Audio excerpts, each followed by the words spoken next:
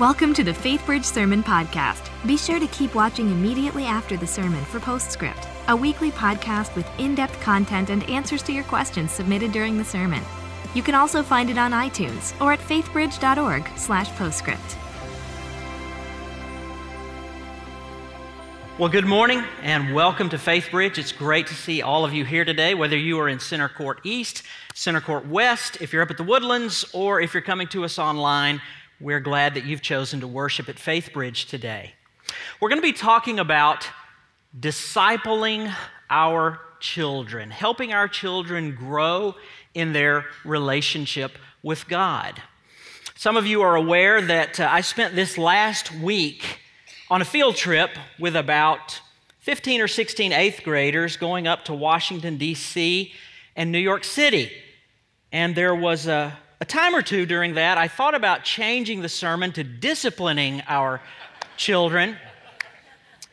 No, they were a great group. We had a really good time, and uh, I'm looking forward to, to talking to you, encouraging you this morning about how we can help our kids be disciples of Jesus Christ who make more and stronger disciples of Jesus Christ in their own lives. Uh, but before we do that, let's take a moment and pray together.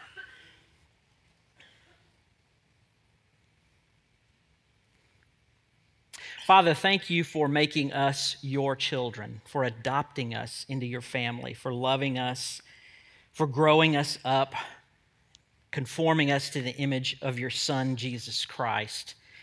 Thank you for the gift of the Holy Spirit who works in and through us to mature us and help us grow. Thank you for the gift of children, for the joy that they bring. Yes, Lord, even for the challenges they, they present.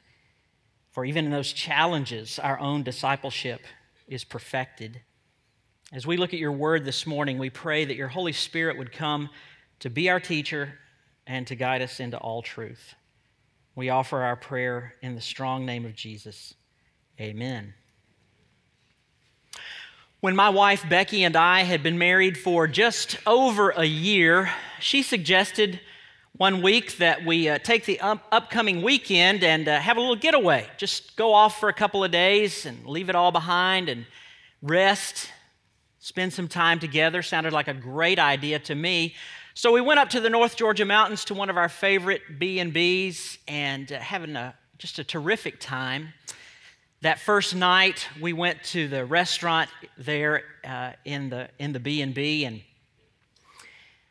after we had placed our order with the waiter, Becky suggested that, that we go ahead and, and bless the food before it even arrived. And I said, okay, that's fine. So we closed our eyes, bowed our heads, and, and prayed. And when I opened my eyes, there before me was a little clear plastic box that uh, had uh, some type of terry cloth material inside of it.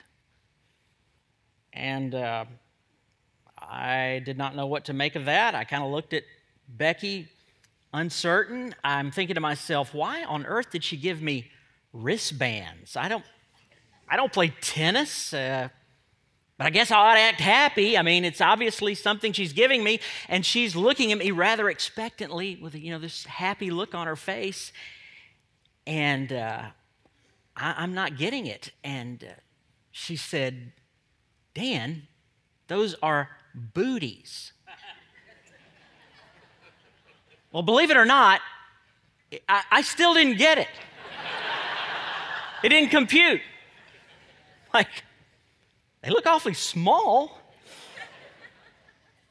With a bit of exasperation, she said, Dan, we are having a baby. Well, yeah. Clap, clap clap. In a word, in that moment, I was stunned. Not because I was necessarily surprised at the fact that we were having a baby. I mean, we had decided some months earlier that we were ready to start a family. But in that moment, it, it fell on me like a ton of bricks. Oh my gosh, we are bringing a human being into this world for whom we will be responsible. And they will be watching me, me, for 24 hours a day, seven days a week. And I am the biggest jerk in the world. That, that sense of responsibility was just so huge that I, I did not leap to my feet in celebration. I did not say, oh, wow, that's awesome. I just sat there, stunned, dazed. It was not the reaction that my wife was looking for, I can assure you. Well, after a little bit, I managed to pull myself together and uh, was able to enter fully into the celebration and the happiness and the joy because I, I really was excited that this time had come. But that sense of responsibility was there. My guess would be that when it comes to the notion of discipling our children, that same sense of uh, fearful responsibility rests on many of our shoulders. It, it, it is a, a daunting responsibility for many of us. Today, though, I, I want to be an encourager. Yes, it is a serious responsibility. Absolutely. We're talking about eternal matters here, but it does not have to be an impossible responsibility. It doesn't have to be a terrifying responsibility. It actually can be one that is incredibly joyful, bring a tremendous amount of satisfaction to both ourselves and to our children. It is possible to do that. And to guide our thinking, I want us to look at uh, a passage from the Gospel of Mark. Mark chapter 10. Go ahead and turn in your Bibles there. If you need a Bible, just raise your hand. Ushers are coming down the aisle. They'll be glad to give you one that can be yours to keep. You can consider that our gift to you. Mark is the second book in the New Testament, the second gospel.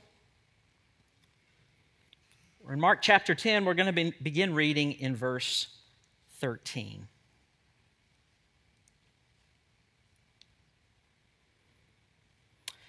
People were bringing little children to Jesus for him to place his hands on them, but the disciples rebuked them.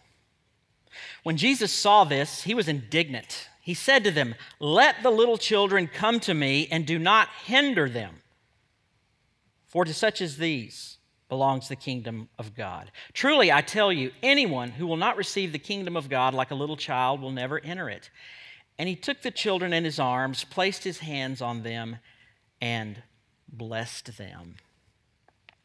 I want us to focus our attention this morning on one verse in particular in there, verse 14, one phrase in particular. Jesus says, Let the children come to me and do not hinder them. Do not hinder them. That word hinder means, of course, to stop an action that is in progress, to bring to a halt something that is already underway. I want to begin encouraging you this morning by letting you know movement toward Jesus, a desire to know Jesus, a desire to be a part of the kingdom of Jesus is already underway in the life of your child, whether you are aware of it or not. Children are quite naturally drawn to Jesus. Jesus himself said, If I be lifted up, I will draw all men to myself. And so our task is not so much to, to work up a bunch of excitement about Jesus, to somehow motivate our children toward Jesus, as much as it is removing the hindrances, getting the things out of the way that stand between our children and Jesus. Jesus has an attractiveness all his own. That if a child can see clearly, if there's nothing that stands between the child and the beauty and the loveliness and the graciousness, the kindness of Jesus, they're going to move in that direction. And so, a large part of our job as the disciplers of our kid is simply to move the things out of the way. Now, perhaps you say to me, well, Gosh, Dan, easy for you to say. I mean, after all, you're a pastor. I'm, I'm not a pastor. I don't even work in kids' ministry. You don't understand how inept I am, how underqualified I am. Well, notice the, the command is not given to pastors. It's not given to children's workers. It's not even particularly given to parents. It's given to all of us. All of us in the body of Christ have and share this responsibility, whether we are parents or not. Anybody who loves kids, anybody who loves God and cares about his children have the responsibility, get to have the responsibility of removing the hindrances that come between children and Jesus. And Lord knows the world is full of hindrances, more than we could possibly count. And so, for our purposes today, I want us to look at three of the most common, three that every single child no matter the family, no matter the situation, no matter where they live, who they are, every child is going to bump up against these three hindrances. And as it turns out, these hindrances track with a child chronologically, if you will. There's a hindrance most prominent in the earliest days of their life, a hindrance most prominent in their uh, formative elementary school years, and then there is a hindrance that shows itself during those teenage years as they get ready to leave the nest. Hindrance number one. The hindrance that, as I said, uh, is most prominent, generally from about birth until kindergarten, just before they leave the house.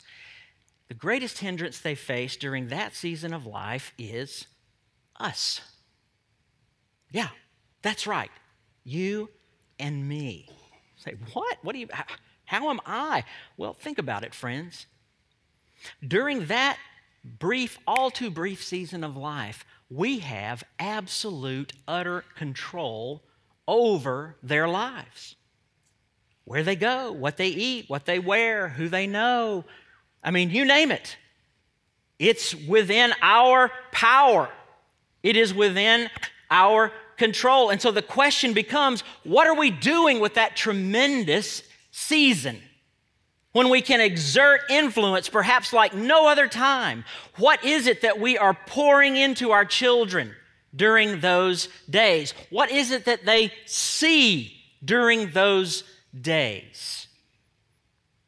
I submit to you that the greatest thing we can do to get ourselves out of the way, to make sure that we are not a hindrance, is to be the most diligent disciple that we can possibly be. I mean, you've heard me say it before. We, we can't give away anything that we don't possess. How on earth can we even think about discipling our children if we are not diligent disciples ourselves?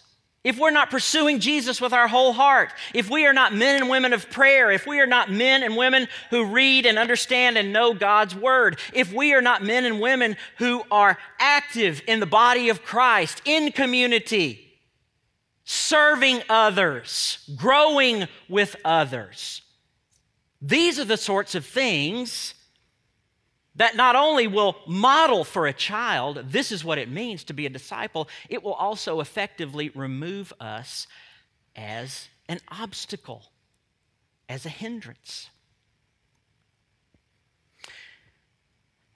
One of the many, many things that a disciple does, of course, is uh, what we typically call a quiet time, a devotional.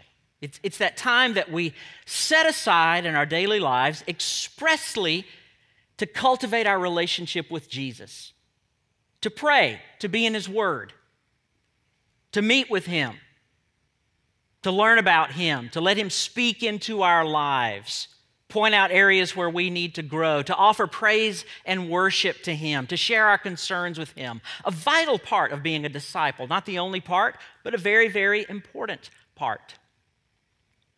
I am one of those rare birds known as a morning person. Uh, that is the time of day when I am the most alert. I am the most awake, and so that's when I like to have my quiet times. Now, before we had kids, it, it worked out great because my wife is a night person. And so I could count on every morning just a block of completely uninterrupted solitude for me to be with the Lord. And then along came Georgia, our firstborn. And it was almost like that child knew. Knew when dad was sitting down to have his quiet time because invariably I would sit down there at my desk and begin to pray, and here comes the pitter pat of little feet.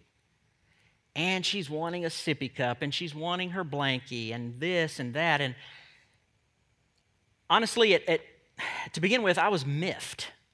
Like, come on. I mean, I'm not just your dad, I'm also Pastor Dan. Pastor Dan has to have his quiet time every day, wants to have his quiet time every day. You're coming in here spoiling the whole thing. And then uh, a dear friend of mine set me straight on this, and I'll be forever grateful that he did. I was telling him one day how miffed I was about this, how she was just spoiling quiet times for Dan. And he said, Dan, listen to yourself.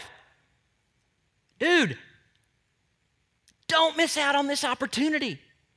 It's going to go by just like that. And so instead of shooing her away or being upset about it, invite her into the experience. Let her see this is what it means to be a disciple of Jesus. Even if she doesn't fully rationally comprehend everything that's going on, what better legacy, what better heritage could you give to your child than for her to see her dad day after day after day meeting with Jesus? It changed my thinking completely. And so the very next day, here comes the pitter pat of little feet instead of getting miffed. And no, we took care of the sippy cup and we took care of the blankie, and then we sat in my lap and we read the Bible together. We prayed together. And I wish I could have those days back. She just graduated from high school. I'll never get to do that again. Don't miss it. Don't miss it. This is a chance that you can set the trajectory for your child, point them to Jesus, help them see this is what matters in life, honey. This is life in Jesus. And you don't have to be the most eloquent spiritual person that ever lived. You just have to love God and love your child. He loves them more than you ever will, and so He's not about to let you mess it up. If your heart's right, invite them into that opportunity. From birth until about kindergarten, if we are not careful, if we are not diligent, if we are not purposeful, the greatest hindrance can be us. But we can also be the greatest blessing during those years as well. Well, those years do go by in a hurry. And before you know it, we're putting them on the bus and we're saying goodbye. And it seems like overnight they're suddenly spending more time with other people than they are with us. And there are all sorts of influences coming into their lives, and they're being exposed to all kinds of things, and we have no control over that whatsoever. The world is there. And it's during this second phase, from about kindergarten up through about junior high, the teenage years, that they bump up against hindrance number two, and that is the world. The world. It's out there. And of course, we can't remove the world. Foolish to think that we possibly could. So, what is our job in these years? Our job is to equip our child to navigate the world, to understand that there's good and there's evil. There's right and there's wrong. There is Jesus' way and there is a different way. We equip our children to make wise choices. The book of Proverbs in our Old Testament, one of the pieces of wisdom literature, generally speaking, divides all of humanity into two groups there are the wise and there are the fools. And our objective in these years is to equip and help our children become wise.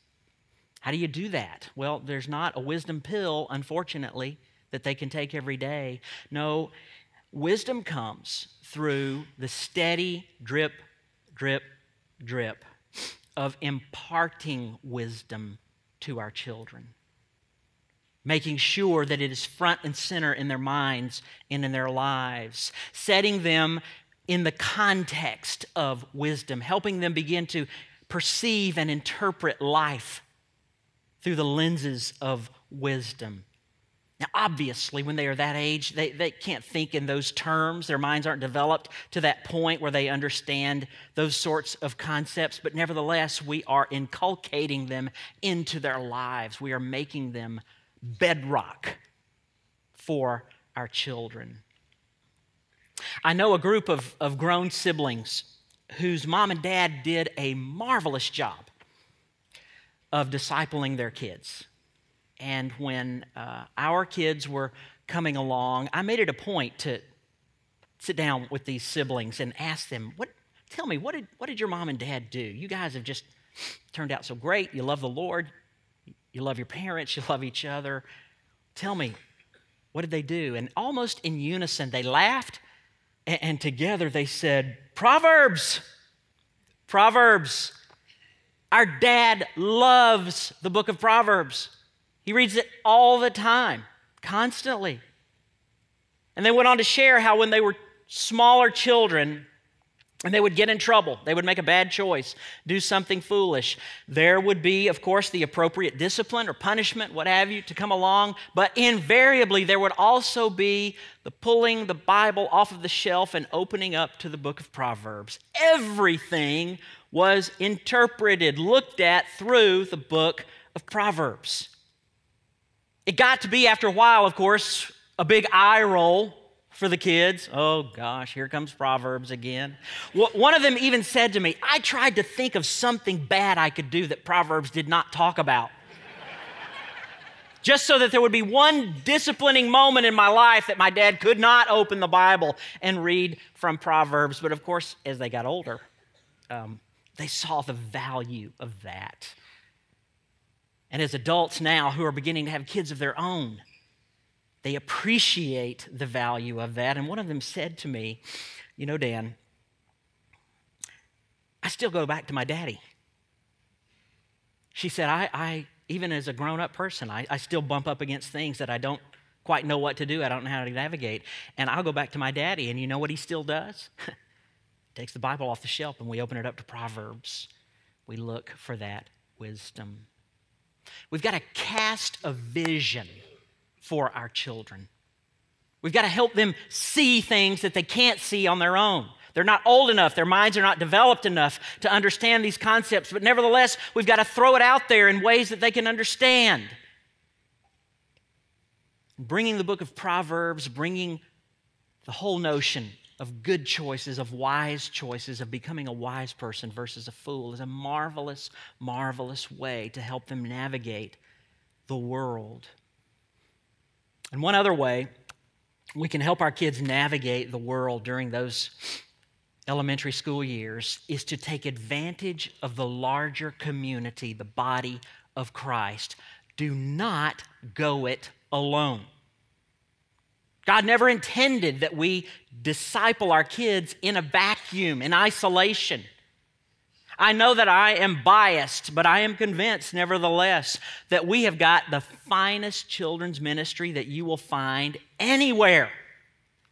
You can clap about that. I believe it. All three of my girls came up through that ministry, and I'm so, so thankful that they had that opportunity, that, that blessing. Now, let me hasten to add it's our job to be the primary disciplers of our kids. Kids' ministry really is supplemental, but it is a supplement you do not want to miss out on because they love children. They love Jesus. It is their joy, it is their passion to pour love for Jesus into the lives of our kids. And it is so much fun over there. It is the funnest ministry in this church. There are days when I'm feeling just a little blue, I'll wander over there to those brightly colored walls just to feel the fun vibe, to get happy again.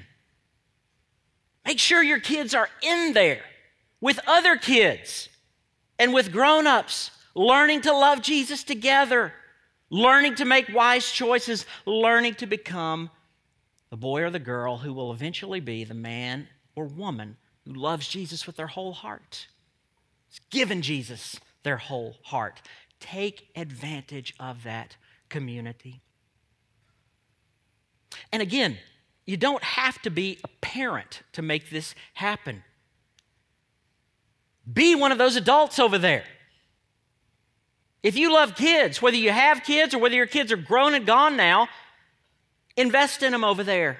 They're always looking for volunteers, they're always looking for people who are willing to give of their time and their knowledge, their energy, their love to make sure that our kids can navigate those years and love Jesus and be a disciple of Jesus.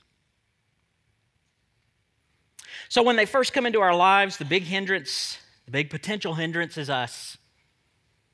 And we have to make choices. What are we going to model for them? But then the day comes that they get on the bus and they go off to school and with other people, and the world is there. And so we've got to equip them to navigate. We've got to cast a vision. We've got to make sure that they are in this community being strengthened by others. And then comes the third phase, perhaps the most difficult of all. They enter into those teenage years. And the hindrance at that stage is them. Yeah, it's them. Anybody, any adult here who's walked with Jesus for any length of time understands that we are our own worst enemy. It's the person in the mirror who gives us the most trouble. The great evangelist of the 19th century, D.L. Moody. If you've never heard that name, go look it up, go Google it great man of God, said one time D.L. Moody has given me more trouble than any person I've ever met. And that is the gospel truth.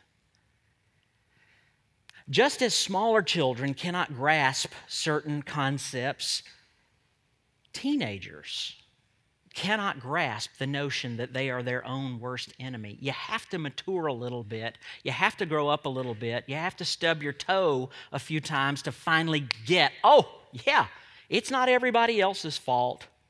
No. Primary responsibility is right here. It's me.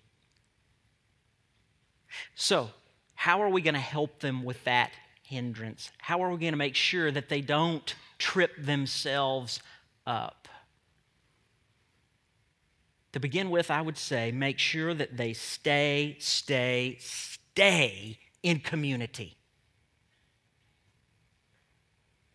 I'm biased about our children's ministry. I'm biased about our student ministry. All three of my girls are coming up through that as well.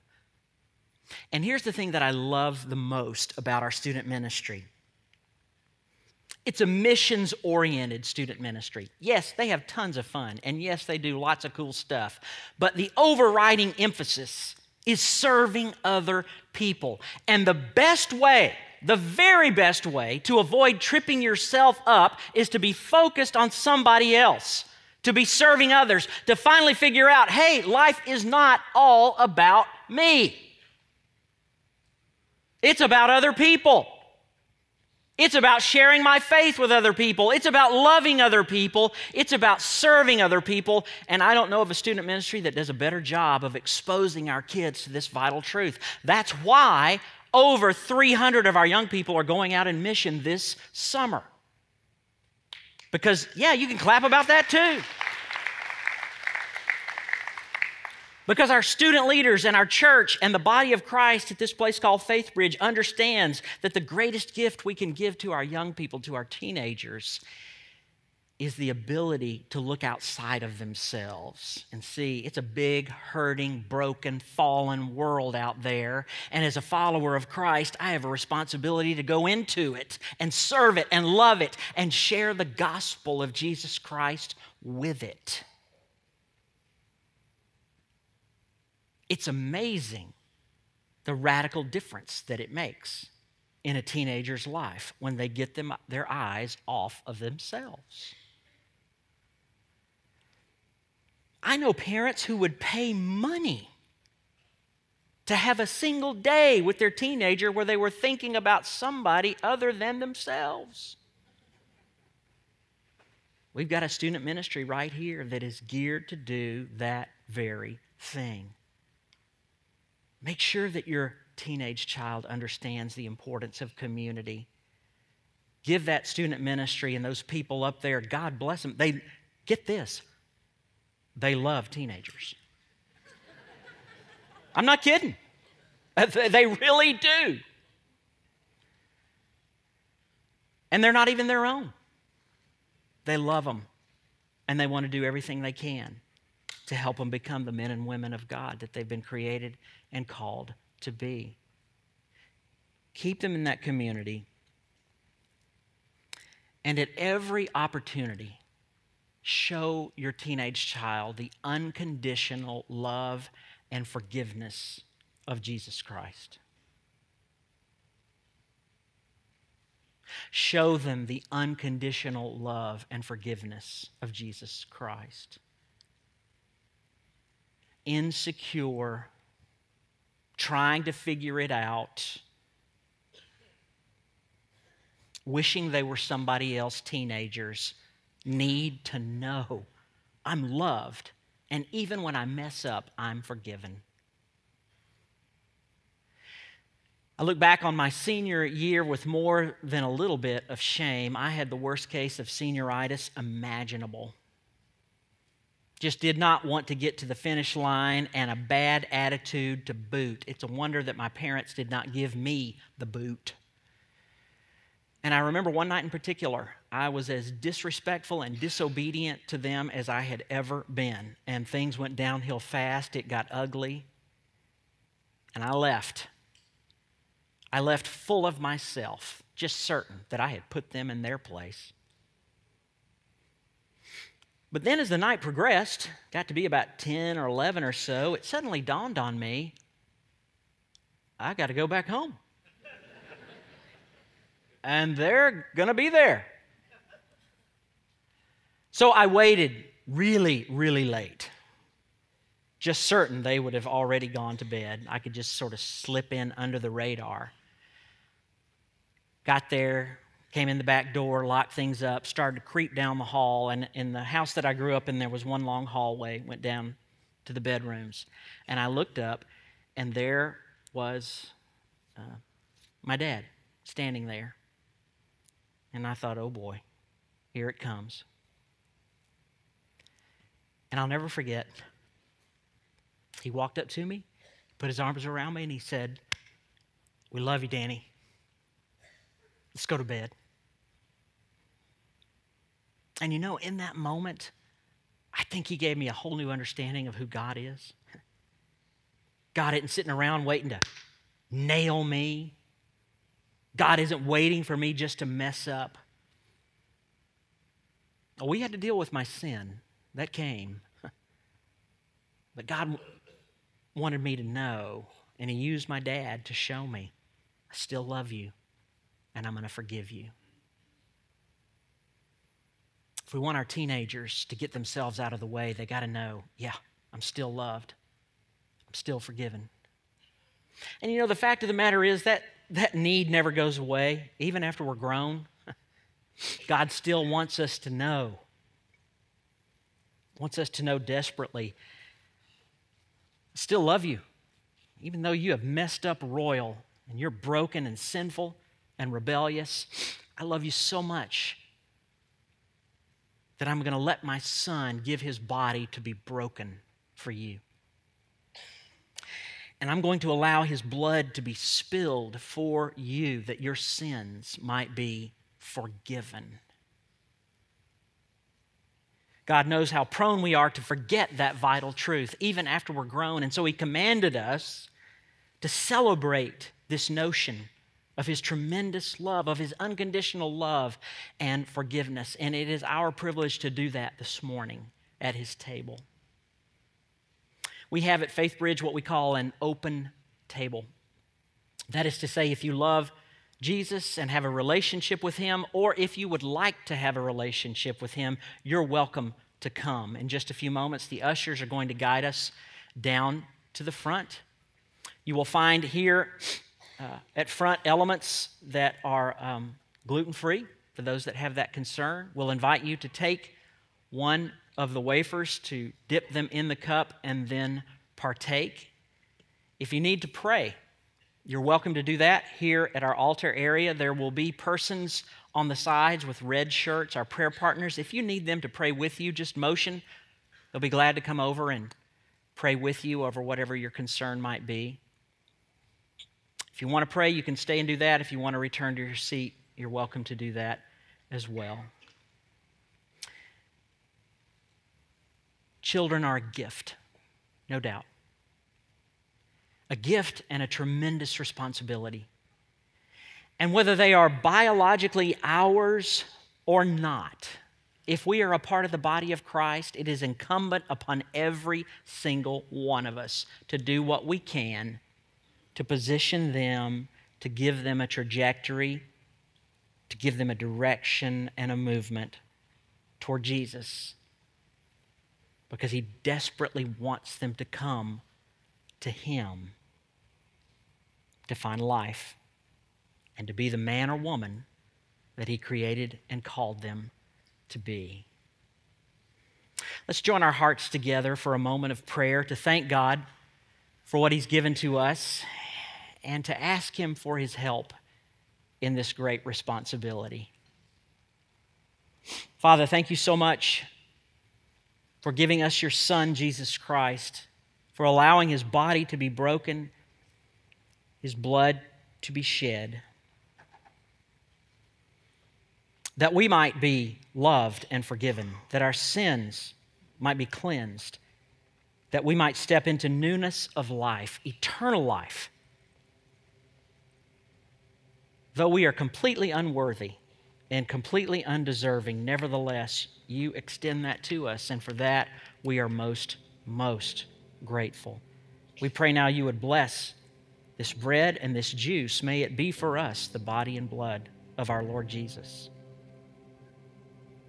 And Father, we would pray also as we come to your table, impart to us, Lord, the grace we need to be men and women who care about our kids at every stage of life, whether they are ours or not, whether we are parents or not. Give to us encouraging love, focused love, vision casting love that moves and points our kids in one direction, and that is toward you. Thank you for sending your Son in our direction. And it's in His name that we pray. Amen. Welcome to Postscript. Here we hope to answer your questions and help you dig deeper into the messages and sermons at FaithBridge by talking with the teacher of the day.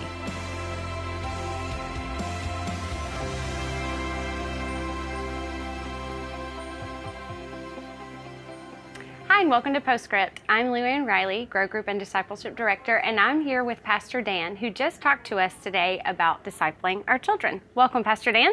Thanks. Glad to have you with us. Um, so, uh, we didn't have any questions come in, but I do have some questions um, okay. around the message that I would love to ask. Sure. Um, so, I'll just jump right in. In the beginning of your message, you talked about disciplining your children and then segued into discipling your children. Right. What is the difference? How do those relate? Well, um, they are closely related. Uh, part of discipling your child is administering discipline to your child. Uh, part of being a disciplined person is learning how to be a disciple, but in practical everyday living, th- this is the distinction that I would make when you disciple your child, you are expressly focused on their growing relationship with Jesus. Mm-hmm. That's, that's the focal point, that's what you're dealing with. When you discipline your child, you're really dealing with all of life. You're mm. teaching them how to behave, you're teaching them that life has consequences, whether you're uh, dealing with behaviors or language or how they use money or whether they stay out too late, uh, you know, w- whatever the case may be. It, it covers a much broader spectrum than discipling, though, as I said, the, the two do intersect with each other a lot. Okay, good. Um, so I can't help but think about um, parents who have children who maybe are grown, mm-hmm. um, or maybe d- they didn't even become believers themselves until their children were in high school or maybe um, farther, and they think to themselves, boy, I really blew it. Mm-hmm. I didn't follow much of what Dan was saying. Um, and what, what would you say to that? I think the first thing I would say is uh, don't, don't beat yourself up.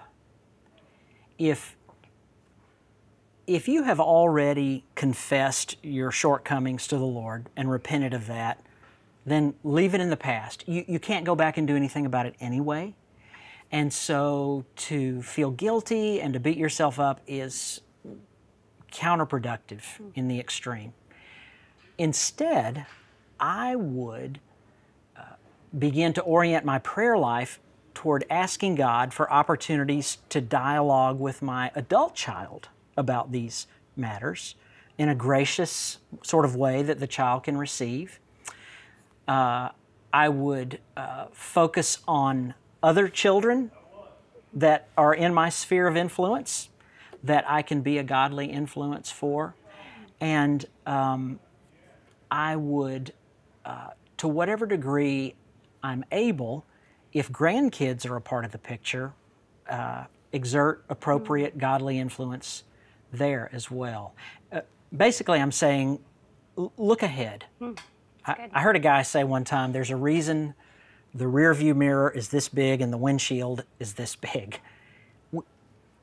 yes, is it unfortunate that that happened? Sure, but it can't be changed. So let's just look ahead to what we can do in the future. That's good.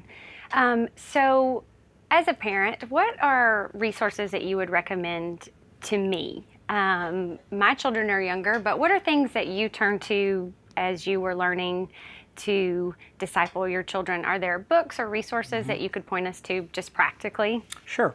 Well, uh, as I mentioned in the message, take advantage of our kids' ministry. It's fantastic. And th- those ladies actually could give you much more specific suggestions mm-hmm. than I am able to. So use that. Same for student ministry. Those folks are there to help. But I will tell you the sorts of things that Becky and I did with our kids. Um, we, when they were very small, we used Bible storybooks. Mm-hmm. Uh, we actually preached through one here at FaithBridge several years ago. Yeah, the Jesus uh, Storybook Bible. Yeah. Have uh, it at our resource center. acquaint mm-hmm. your kids with the stories of the Bible. It sticks there. Um, make family opportunities for worship a regular part of your life. That doesn't mean you have to preach a sermon, it doesn't have to be super formal or anything. At the end of the day, as you're going to bed, you can talk about where did I see God today and what did God do in my life. Um, the, the thing that Becky and I tried to do was continually orient our children toward God. Uh, whether that was a Bible storybook or having a worship time or sometimes even in the midst of discipline when we were learning a hard life lesson, talking about what does this mean in terms of my relationship with God and how does He feel about me in the midst of all this. Um, those are the sorts of tools that we used, and um, we, we were by no means perfect, um, but we did find them to be very helpful. Good, thank you. Well, I think all of the points, no matter where you are as um, with your children, but also talking when you don't have children, looking for a place that you can sure. invest in the lives of children. Absolutely. So thank you for yeah. that message today, and thank you for joining us here for Postscript. We'll see you back here next week. Thanks for joining us for Postscript. Help us keep the podcast interactive by submitting your questions during the morning services. Learn more at faithbridge.org/postscript.